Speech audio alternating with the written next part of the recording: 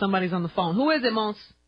Oh, we got Cam'ron and the pres- Alan Cam'ron and Aaron, Alan Alan Run Run Black. Run Black from um, Koch Records. Cam'ron. Cam'ron, hey, let's talk. What's your relationship with Cam? Do you we have, don't have one? problems. We good. No problems. Yeah, I ain't had no issues with him. Is it Alan Grumblat? I'm the general manager of Koch Records. Yeah. Hi, Alan. Hey, how What's you up, doing? Alan? You want to talk? good. You want to be in the air? That's like good. an artist? Hey, yeah, you know what? You know, just because I've been just hearing a lot of negativity, and you know, Koch Records, we distribute Diplomat Records, and uh, you know, we Yeah, well, diplomats are cool, and but put Cam on the phone. Diplomat.